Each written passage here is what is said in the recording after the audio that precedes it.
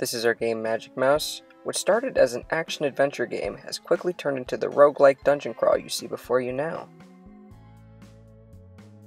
We tried to capture the feeling of freeform spellcasting by allowing the player to draw spells with their cursor.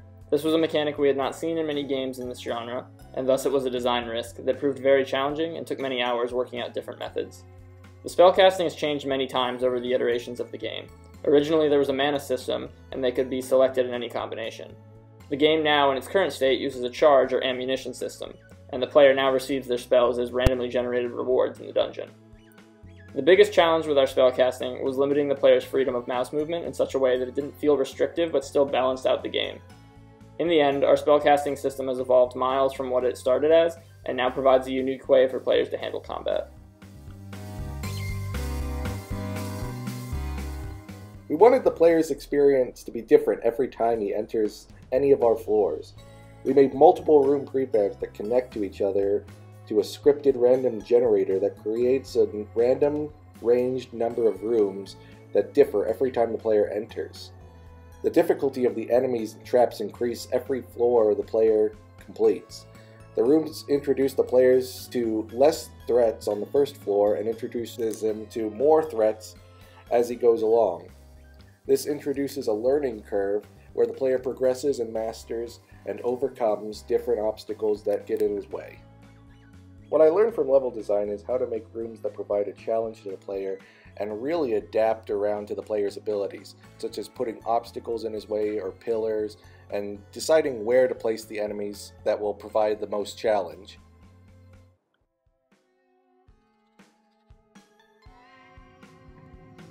For the development of Magic Mouse, I was responsible for making some of the interactables for the game, which required destructible urns, crates, and barrels, health and charge potions, certain traps, and the spell tutorial windows.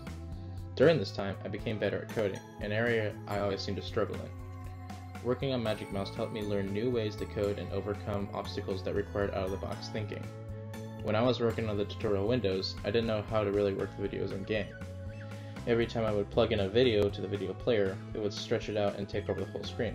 So, to fix this, I thought outside the box and made a PowerPoint slide with the video on it, and recorded that slide and placed it into the game, leaving just enough space for me to leave its description of the spell type next to the video.